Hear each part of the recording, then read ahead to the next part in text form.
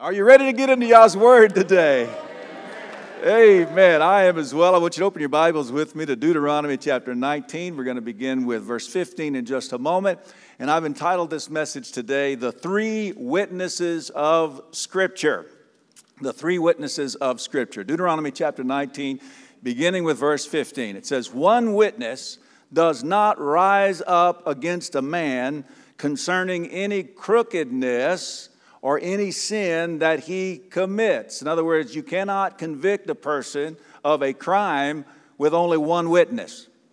One witness is never enough.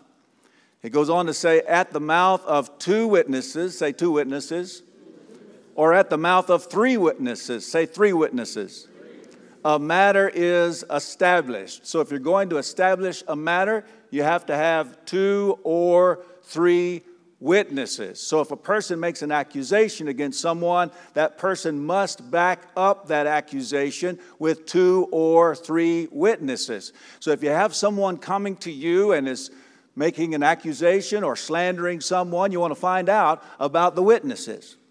Sometimes they'll say, Well, I was told. Well, it's not an ear witness, it's an eyewitness. And if you convict someone in your heart because you have someone coming and bringing an accusation that is an ear witness, well, I was told that so and so is doing something. All right, that is bearing false witness. Now, what does the scripture say about bearing false witness?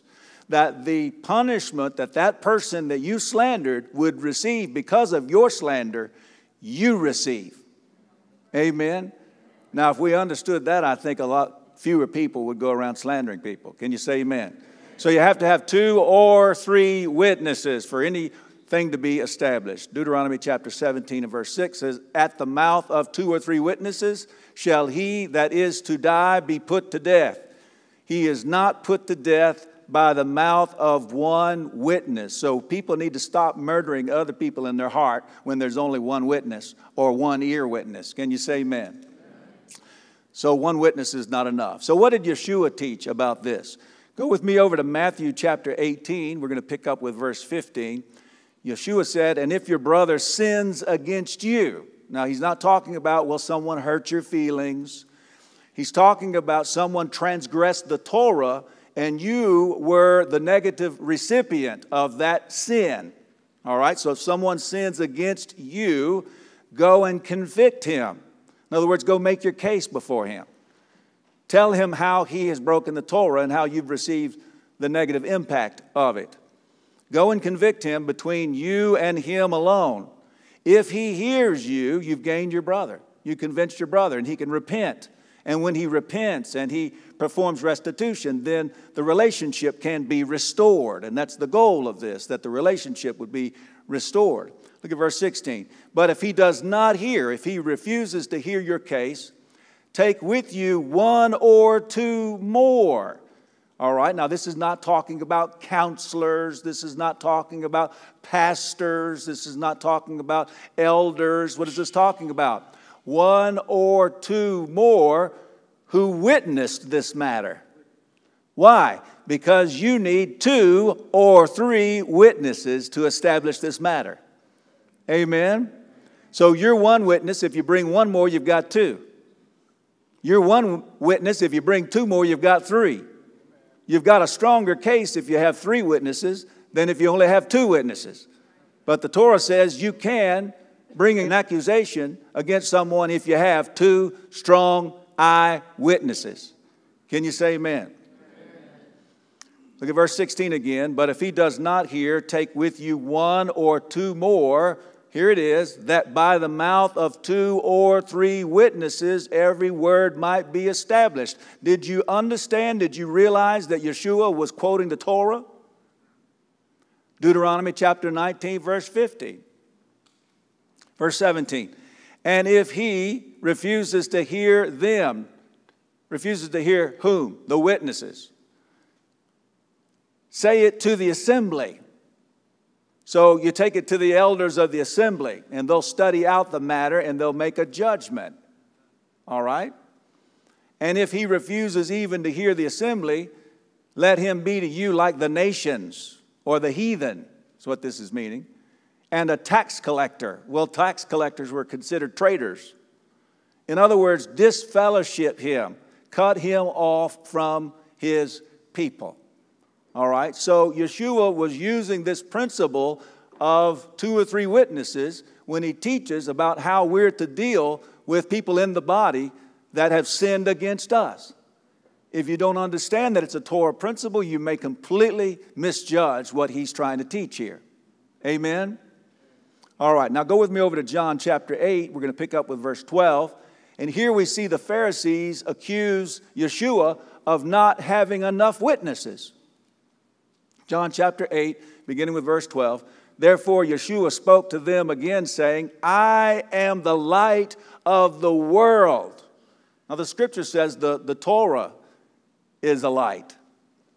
And so Yeshua was basically declaring that he's the living Torah or that he is the Messiah. I am the light of the world. He who follows me shall by no means walk in darkness, but possess the light of life. Now he's making a declaration about himself. And notice how the Pharisees respond in verse 13. The Pharisees therefore said to him, You bear witness about yourself. Your witness is not true. In other words, one witness is not enough. All right? You bear witness of yourself. You don't have enough witnesses. Verse 14 Yeshua answered and said to them, Even if I witness concerning myself, my witness is true. In other words, I'm not lying to you. All right? One witness may not be enough, but I'm telling you the truth about myself for I know where I came from and where I'm going. I came from the Father and I'm going to the Father. But you do not know from where I come or where I go. In other words, you're ignorant of the things that I know. In other words, they're judging by the flesh. Look at verse 15. You judge according to the flesh. I judge no one. But even if I do judge, even if I do make a judgment, my judgment is true because I am not alone in it. In other words, I have more than one witness. But I and the Father who sent me. All right, so he's witnessing of himself. The Father also is witnessing, making two witnesses. All right? Verse 17 and in your Torah also, it has been written that the witness of two men is what? True. The witness of two eyewitnesses is true. You can establish a matter by the mouths of two or three witnesses. I am one who witnesses concerning myself, and the Father who sent me witnesses concerning me. Again, He's just saying something that they knew. Maybe other religious people don't understand this principle because they never studied the Torah. But he's basically saying, out of the mouths of two or three witnesses, every word is established. And I'm witnessing for myself, and my Father is also witnessing for me as well. And that makes two, and our witness is true. Now, let's ask the question Did Paul reflect in his teachings an understanding of this principle? Did he say anything about this principle of out of the mouths of two or three witnesses, every word is to be established? Well, let's go to 2 Corinthians chapter 12 and pick up with verse 20. Shaul, or Paul, is writing to the congregation in, in Corinth, and he says, For I fear lest when I come, I do not find you such as I wish. In other words, he's concerned he won't find them walking uprightly in Messiah. And I be found by you such as you do not wish. What's he saying? Well, you're going to find me in set apart indignation if you don't change your ways and start obeying the scripture. Lest there be strife, jealousies, outbursts of wrath, selfish ambitions, slander, gossip, puffings up, unrests, unless when I come again, my Elohim should humble me among you, or I shall be saddened, and I shall mourn for many who have sinned before and have not repented of the uncleanness and whoring and indecency which they have practiced.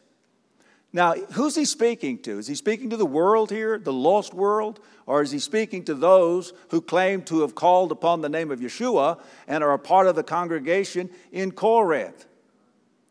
Now, I think about the perverted grace doctrine that tells people not to repent because if you repent, then you're actually engaged in an activity that would cause you to lose the grace that's been poured out upon you. You say, Well, I've never heard that. Well, that's what they're teaching. In other words, you've fallen from grace because you repent, because you're doing something. And yet we see right here that the Apostle Paul has been admonishing the believers in Corinth and saying, there's strife, there's jealousies, there's outbursts of wrath, there's selfish ambitions, there's slander, there's gossip, there's pride, there's unrest. And he says, I've already charged you. We're going to get down to it here in a moment. He says, I've already charged you twice. And if I, if I have to come a third time and deal with this, then I'm not going to spare anybody. He's going to operate within his office of, of the apostle and, and make some judgments, all right? Look at verse 1 of chapter 13. This is the third time I am coming to you. Notice what he says By the mouth of two or three witnesses, every word shall be established. What's he doing? He's quoting Deuteronomy 19, verse 15.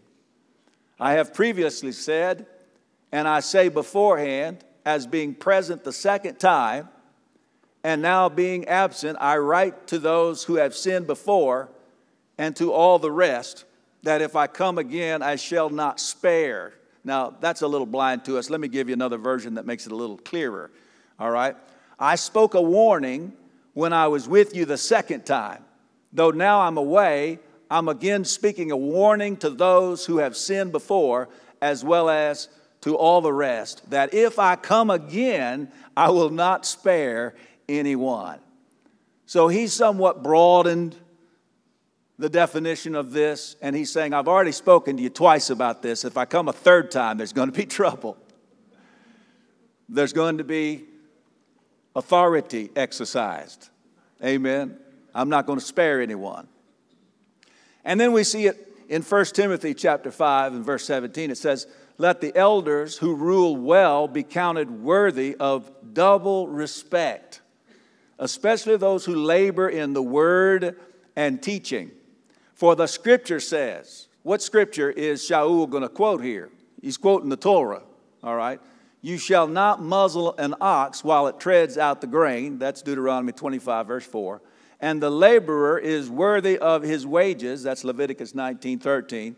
And look at verse 19. Do not receive an accusation against an elder except from two or three what? Witnesses.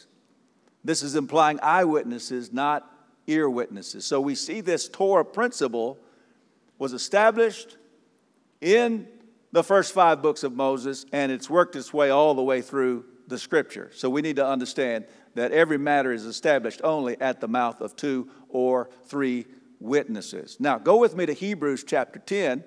We'll pick up with verse 26. And I want to show you the three witnesses that testify against a willful hardened, unrepentant sinner. Okay? This is a very interesting passage of Scripture in the book of Hebrews. Hebrews chapter 10, verse 26. For if we sin, he's speaking concerning believers, and a sin is what? Transgression of the Torah. If we sin purposely, or you could say willfully, after we have received the knowledge of the truth, there no longer remains a slaughter offering for sins. Now, he's talking about the hardened, willful, unrepentant sinner who has rejected Messiah. All right?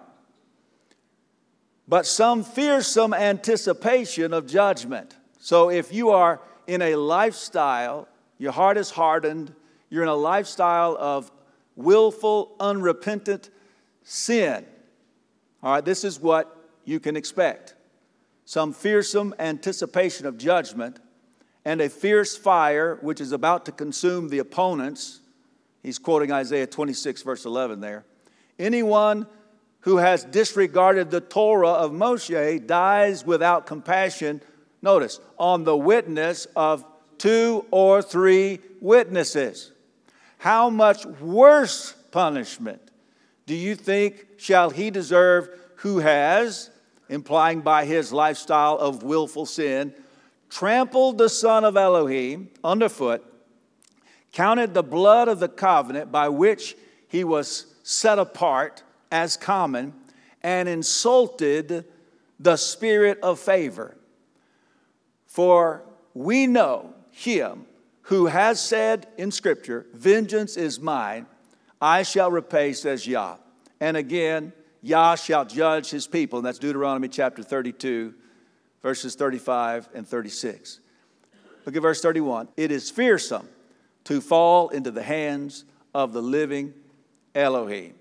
And so, what do we see here? We see three witnesses to that person whose heart is hard, who is unrepentant, who is willful in his sinful activities. And who are the three witnesses? Well, the first witness is the son of Elohim. It says, who trampled the son of Elohim underfoot. Now, we want Yeshua to be our advocate. We want him to be our ever living high priest who goes before the Father in the high court of heaven and pleads our case on our behalf, not according to what we did or didn't do, but according to what he accomplished on the tree when he died in our place and paid our death penalty. Amen. But for the hardened, willful, unrepentant sinner, he's not the advocate, he's a witness against that person. Think about that. Now, the second witness, it says, counted the blood of the covenant by which he was set apart as common. You say, how, how can blood be a witness? Well, the scripture says that the blood of Abel cried out to the Almighty because Abel was murdered by Cain. And then the scripture says that the blood of Yeshua speaks of greater things than the blood of Abel because the blood of Abel spoke of judgment. And the blood of Yeshua, for those who love Yeshua, who believe in Yeshua, who live according to the lifestyle of Yeshua, the blood of Yeshua speaks of forgiveness to us. But the scripture also tells us that the blood of Yeshua can be a witness against the hardened, willful, unrepentant sinner. And then it says, and insulted the spirit of favor. So the spirit of favor, or your Bible may say the spirit of grace, or the set apart spirit, then becomes a witness against the hardened, willful, unrepentant sinner. So we have three witnesses. Can you say amen? And what does it say? Vengeance is mine, I shall repay, says Yah. And again, Yah shall judge his people. It is fearsome to fall into the hands of the living Elohim. You fall into his hands when you have three witnesses against you. All right, then go with me over to Luke chapter 24, beginning with verse 36. And here, Yeshua is going to tell us that there are three bodies of Scripture that are witnesses to him. For him to be able to establish that he's the Messiah, he needs two or three witnesses. And so, what do we see here in Luke 24, beginning with verse 36? And as they were saying this, Yeshua himself stood in the midst of them and said to them, Peace to you. And being startled and frightened, they thought they had seen a spirit. And he said to them, Why are you troubled? And why do doubts arise in your hearts? See my hands and my feet, that it is I myself, handle me. And see, for a spirit does not have flesh and bones, as you see I have. And saying this, he showed them his hands and his feet. Look at verse 44. And he said to them, These are the words which I spoke to you while I was still with you, that all have to be filled or accomplished that were written in the Torah of Moshe and the prophets and the Tehillim or the Psalms concerning me. So we see three bodies of scripture who are the three witnesses of Yeshua that he is the Messiah. The Torah of Moshe is a witness. Now, how many of you believe that Yeshua is the Messiah? How many of you want the whole world to know that Yeshua is the Messiah? Then why in the world would a religion abolish the witnesses to Yeshua?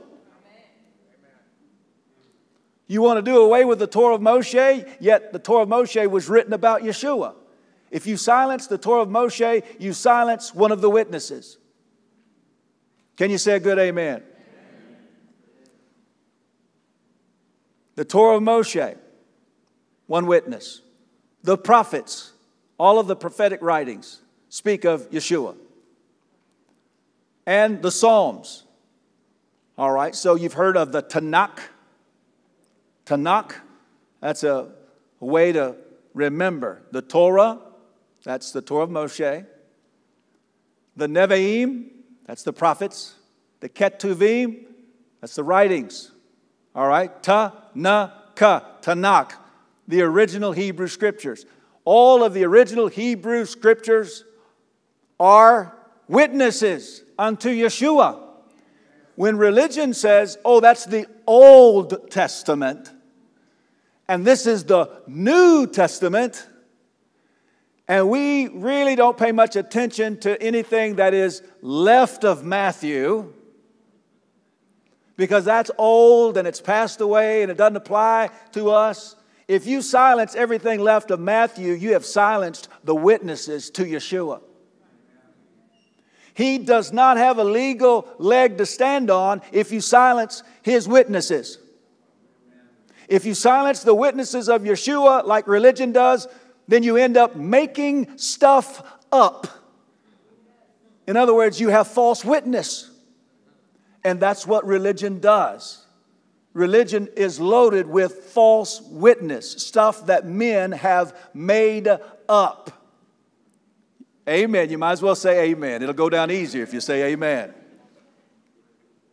Hallelujah. Now look at verse 45. Then he opened their minds to understand the scriptures. Isn't it interesting that he didn't say, now you need to go to the Gospel of John and start there at the Gospel of John? Because John said, in the beginning was the Word, you know? And religion does that. It always sends someone that just received Yeshua to the Gospel of John. Why not send them to the beginning, to Genesis? Amen. It says, Then he, Yeshua, opened their minds to understand the scriptures. Yeshua called the Torah, the prophets, and the writings the scriptures. All right? Well, you know why he didn't send them to the Gospel of John, because John hadn't written his gospel at that point. Amen. But the fact is, you can preach Yeshua. You must preach Yeshua out of the original Hebrew scriptures. Otherwise, you don't have the witnesses that are necessary to establish the matter. He opened their minds to understand the scriptures. This is something that the Spirit is doing in this hour that we're living in. People are, are no longer just embracing what religion is saying. They're hearing preachers preach and they're reading their Bibles and they're seeing that they don't quite match up. They're hearing about the traditions of men and they're reading their Bibles and they're seeing that Yeshua was constantly challenging the traditions of men, the man made rules and regulations. Amen. That's what's happening today. He was the one who was leading people back to the written Torah. He never said, follow Judaism. He never said, I'm about to start a new religion, follow Christianity. He didn't say that. I've been searching my Bible for a lot of years, decades. I've never seen that. What did he say? Follow me. And then we see in the apostolic writings, it says, if anyone says that they abide in Yeshua, they must also walk just as he walked. Not walking in the path of religion, not walking in the traditions of men, but discovering how Yeshua walked, what he loved, what he hated, what he believed and lining up your belief and your belief walk with His. How can two walk together unless they be agreed? He's coming back for His bride. Amen. The bride is not going to say, Hey, Yeshua, come walk with me in all these pagan ways. Come celebrate with me all these Roman holidays. Let's put our emphasis on the first day of the week. Oh, yeah, I know it's called Sunday, the day when the empire worshiped the God of the sun. No, no, it's going to be Sabbath, folks, seventh day Sabbath. Amen. So many people, I believe, even in religion, they love Yeshua, they want to do right, but they've been told lies.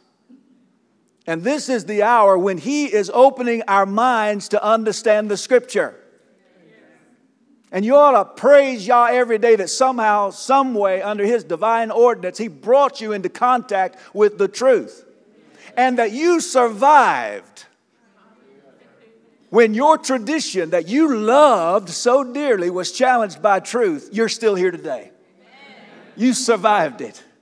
Turn to your neighbor and say, I survived. Why did you survive? Because you love truth more than tradition. That's why you survived. You loved truth more than tradition. Amen. Broad is the way that leads to destruction, and there are many who are on that path. If you ever hear somebody say, Oh, let's do it, everybody's doing it, that's a, that's a strong warning that if everybody's doing it, you ought not to be doing it. Because narrow and difficult is the way that leads to life, and there are how many that find it? Few. There are few that find it. Why is it that way? Because people love their tradition more than they love truth. Hallelujah. Then he opened their minds to understand the scriptures, the scriptures, the Torah, the prophets, the writings, and said to them, Thus it has been written, written in the scriptures, and so it was necessary for the Messiah to suffer, as it was written in the scriptures, and to rise again, as it was written in the scriptures, from the dead the third day, and that repentance and forgiveness of sins should be proclaimed in his name to all nations, beginning at Jerusalem. Notice he didn't say it was going to begin in Rome. When Yeshua comes back, is he going to rule from Rome? Is he going to lead everybody in the Roman calendar? Are we going to observe the Roman holidays? Are we going to worship on the day of the sun? So the question is where do your roots end? You hear evangelicals and you know charismatics and people that are a little further down the line saying, well, we're not Catholics. If you're a Catholic here today, we love you. They say, we're not Catholics. Anybody that defines themselves according to what they're not instead of what they are, you got to watch out for that. The question is you say you're not a Catholic, but where do your roots end? Do they end in Rome? Are you doing what the Roman church established? Or do they end in Jerusalem? When Yeshua comes back, he's going to rule from Jerusalem. He's going to teach the Torah from Jerusalem. The lifestyle of his bride and those nations that are saved will be the lifestyle of the scripture. The question is if you can't find Christmas in the Bible or Easter in the Bible, why are you doing it now? You can study the prophetic scriptures and find out what we're going to be doing in the kingdom when Yeshua comes back and establishes his kingdom. It speaks about celebrating the feast of Sukkot why Sukkot? It's one of Yah's feasts. He didn't change. He never changes. I am Yah, I change not. Yeshua Messiah the same yesterday, today, and forever. So if what we're doing today doesn't match what's been done, He didn't change. Religion changed.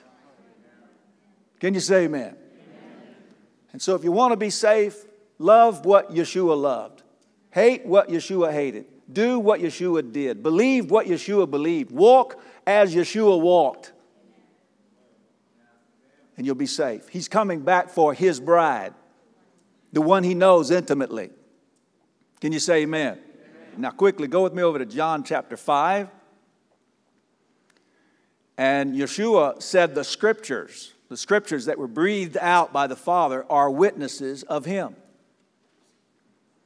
John chapter 5, verse 30, Yeshua said, Of myself I am unable to do no matter.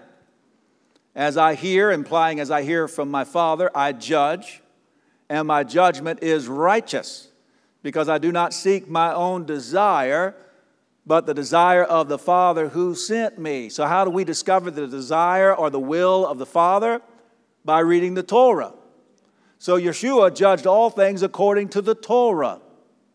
He's not going to judge outside of the Torah. To have a righteous judgment, you judge by the Torah,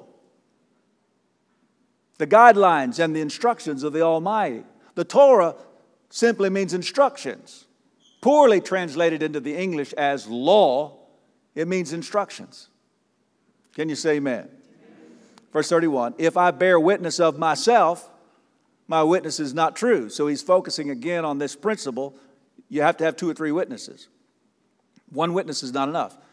There is another who bears witness of me, and I know that the witness which he witnesses of me is true. And he's talking about Yochanan the Immerser or John the Baptist. Verse 33 You have sent to Yochanan. They actually sent out scribes and priests to talk to Yochanan about who he was, and he witnessed of Yeshua and he bore witness to the truth. Look at verse 34. But I do not receive witness from man. I think that's a really strong statement. Yeshua can make his case that he is the Messiah simply by using the scripture. The scripture is breathed out by Yah himself. He doesn't need another man's witness, although he is going to mention Yochanan right here. But I say this in order that you might be saved. He was the burning and shining lamp and for a while you wish to rejoice in his light. But I have a greater witness. Everybody say a greater witness. Than that of Yochanan.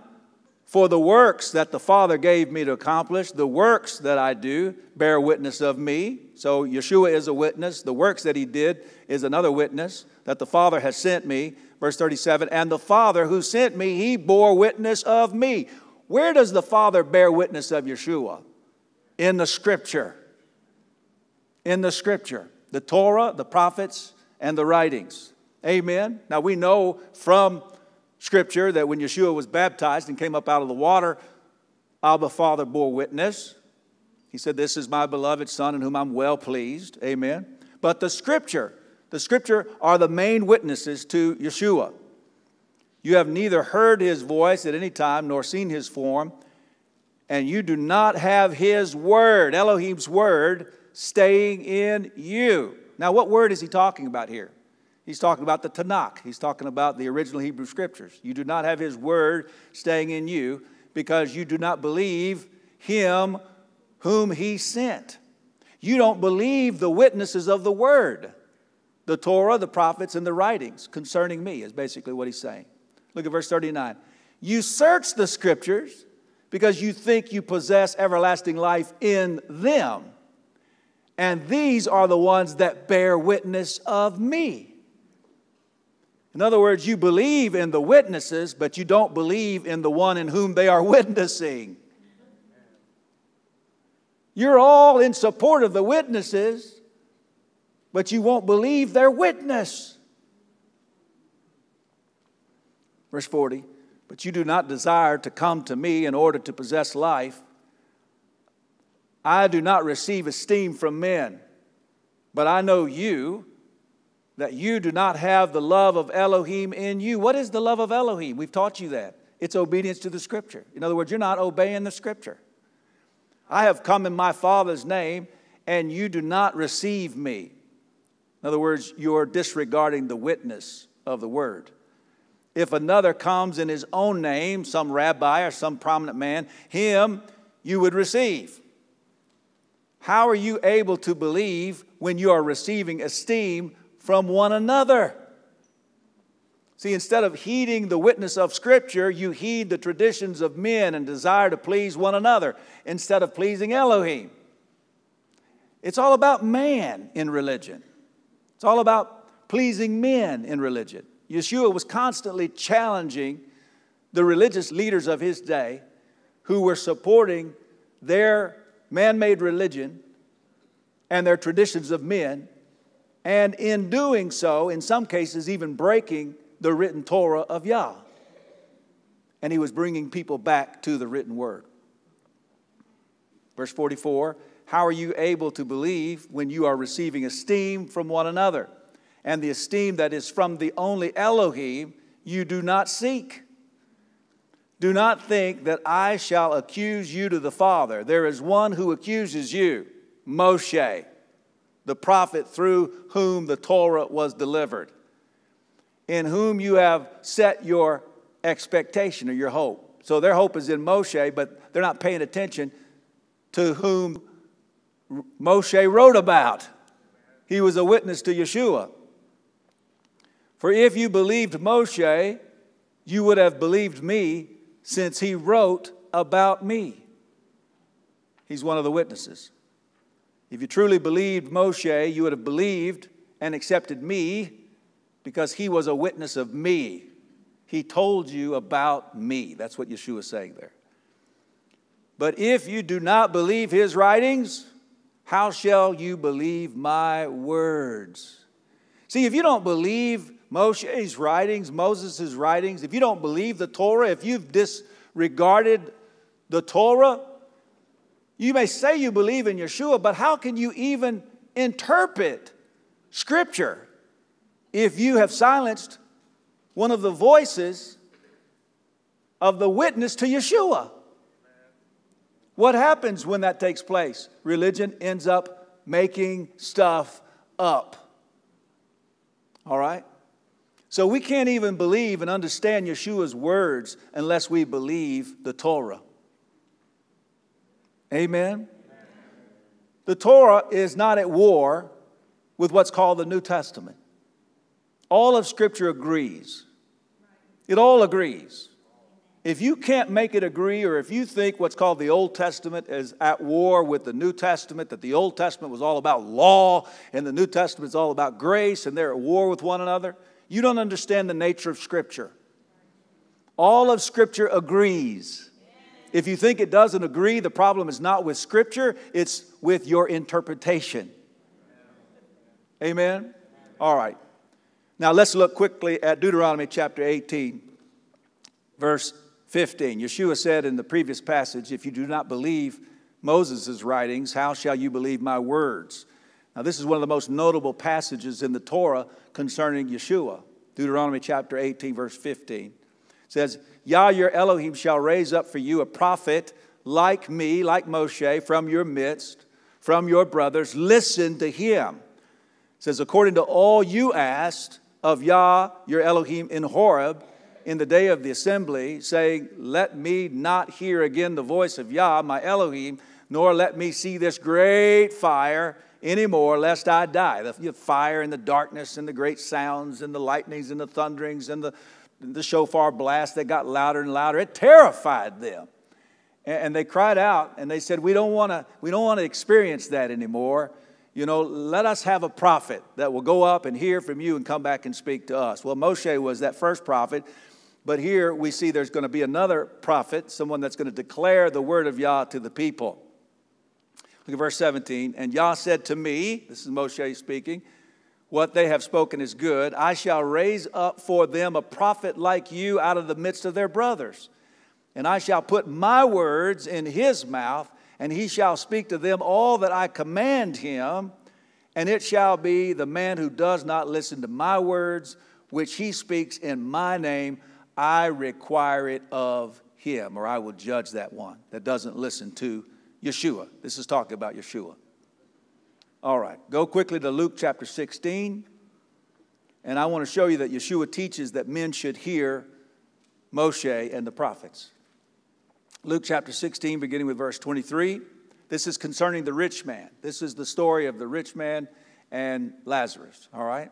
Concerning the rich man. And while suffering tortures in Sheol, having lifted up his eyes, he saw Abraham far away and Eleazar, or Lazarus, in his bosom. And crying out, he said, Father Abraham, have compassion on me and send Eleazar to dip the tip of his finger in water and cool my tongue, for I am suffering in this flame. But Abraham said, Son, remember that in your life you received your good, and likewise Eleazar the evil. But now he is comforted, and you are suffering. And besides all this, between us and you a great chasm has been set, so that those who wish to pass from here to you are unable, nor do those from there pass to us. And he said, Then I beg you, Father, that you would send him, that's Eleazar, Lazarus, to my father's house, for I have five brothers. Let him warn them, lest they also come to this place of torture. And Abraham said to him, They have, what does it say? They have Moshe and the prophets. All right, two witnesses, implying that they are witnesses. Let them hear them. Yeshua said men ought to hear Moshe and the prophets. This was a lesson that Yeshua himself taught that men ought to hear Moshe, who wrote the Torah, and the prophets. All right?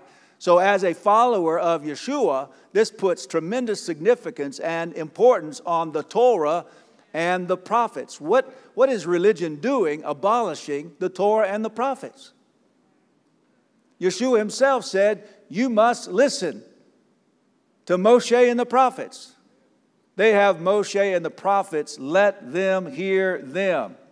Verse 30, and he said, No, Father Abraham, but if someone from the dead goes to them, they shall repent. But he said to, to him, If they do not hear Moshe and the prophets, neither would they be persuaded, even if one should rise from the dead. So Yeshua stands with his witnesses. Keep that in mind. He stands with his witnesses. He's going to uphold his witnesses. He's making a case that he's the Messiah. He needs to have his witnesses.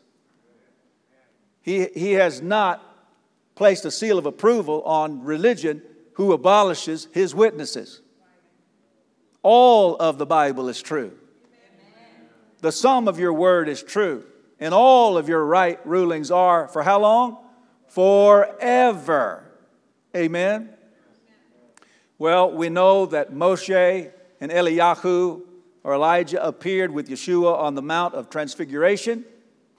We won't read that today, but that's Luke chapter 9, verses 26 through 36. I would encourage you to go and read that.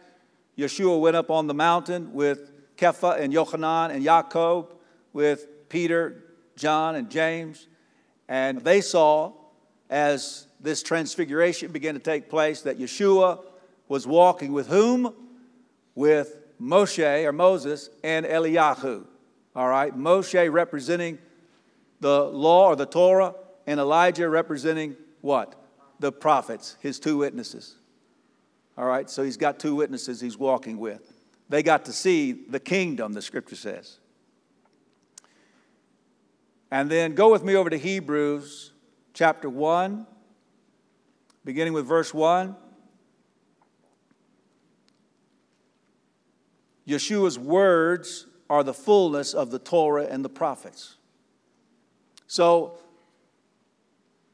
the voice came out of the cloud on the Mount of Transfiguration. It was the Almighty speaking. He said, This is my Son, the beloved. Hear him. Hear him. So he's going to become now the fullness of the Torah and the prophets. Hebrews 1 1 says, Elohim, having of old spoken in many portions and many ways to the fathers by the prophets, has in these last days spoken to us by the Son, whom he has appointed heir of all, through whom also he made the ages, who being the brightness of the esteem and the exact representation of his substance, and sustaining all by the word of his power, having made a cleansing of our sins through himself, set down at the right hand of the greatness on high. So that's a reference to Psalm 110, verse 1. So Yeshua's words are the fullness of the Torah and the prophets. He didn't come to speak anything different. He exalts the Torah and the prophets to their deeper spiritual application. Yeshua's words are always going to agree with Moshe's words. They're always going to agree with the words of the prophets and the Psalms. David was, was a prophet. David was a prophet uh, when he wrote those Psalms. It's so prophetic. And so Yeshua's words are not different words, they're in agreement with Moshe and with the prophets. Yeshua didn't come to abolish the Torah, of the prophets, but to preach them in their fullness. Okay, quickly, we've preached on this a lot, but I want to insert it here just to build this case today. Matthew chapter 5, verse 17. Yeshua said, Do not think I came to destroy the Torah of the prophets. Doesn't that only make sense in light of what we're talking about? Why would the Messiah come and abolish his own witnesses? He didn't come to abolish his witnesses. He didn't come to destroy the Torah or the prophets. He said, I did not come to destroy, but to complete. In other words, to preach them to their fullness, to exalt them to their deeper spiritual application. All right? For truly I say to you, till the heaven and the earth pass away, one yod, that's the smallest of the Hebrew letters in the Hebrew alphabet, or one tittle, that's the little decorations on the letters, shall by no means pass from the Torah till all be done, or till everything written is accomplished. All right? Now, are there prophetic words in the Torah and the prophets that have not been fulfilled yet? Yes. So there has not been one yod or tittle that has been dissolved or passed away. Look at verse 19. Whoever then breaks one of the least of these commands, what commandments is he talking about here? The Torah commands. And teaches men so shall be called least in the reign of the heavens. There's a lot of people in religion who are teaching what they've been taught, and that is that the Torah has been abolished. Now, they may be sincere in their hearts, but they're sincerely wrong about that. All right, Yeshua said, if you break the commandments and teach others to break them, you will be least in my kingdom. And look, look what else he says here. Whoever then breaks one of the least of these commands and teaches men so shall be called least in the reign of the heavens. But whoever does, obeys them, and teaches them the Torah commandments, he shall be called great in the reign of the heavens. Amen. Well, the Almighty is the, the ultimate steward. He's not going to put a novice in authority. Yeshua is going to be teaching Torah from Jerusalem. There's going to be some folks there that are going to have to sit in class. Amen. All right, quickly. Romans chapter 3 and verse 21. Shaul or Paul says the Torah and the prophets are witnesses to the righteousness that comes through belief in Yeshua. Verse 21 But now, apart from Torah or apart from Torah obedience alone, he's talking to, he, he so often had to deal with the Jewish people who were saying that they were justified by Torah obedience alone. They didn't need to believe in Yeshua. They didn't need his Yeshua and this preaching of Yeshua. They could be justified by Torah obedience alone. But Shaul is saying here, apart from Torah or apart from Torah obedience alone, a righteousness of Elohim has been revealed, being witnessed by the Torah and the prophets. Witnessed by whom? The Torah and the prophets. And the righteousness of Elohim is through belief in Yeshua Messiah to all and on all who believe. Go to Acts chapter 3 starting with verse 15. This is Kepha or Peter, but you killed the Prince of Life, whom Elohim raised from the dead, of which we are witnesses. And by the belief in his name, in Yeshua's name, Yeshua means the salvation of Yah. It means something in Hebrew. This one whom you see and know, his name made strong so this lame man was healed by the name of Yeshua. And the belief which comes through him, through Yeshua, has given him this perfect healing before you all. And now, brothers, I know that you did it in ignorance, as your rulers did too. But this is how Elohim has filled what he had announced beforehand. Notice, through the mouth of all the prophets that his Messiah was to suffer. So if you read the writings of the prophets, they are witnesses to his suffering. Verse 19 Repent therefore and turn back for the blotting out of your sins, in order that times of refreshing might come from the presence of the Master, and that he sends Yeshua Messiah, pre appointed for you, whom heaven needs to receive until the times of refreshing of all matters, here it is, of which Elohim spoke through the mouth of all his set apart prophets since of old. All right, they are his witnesses. Verse 22 For Moshe, Moshe was a prophet, for Moshe truly said to the fathers in the Torah, Yah your Elohim shall raise up for you a prophet like me from your brothers. Him you shall hear according to all matters, whatever he says to you.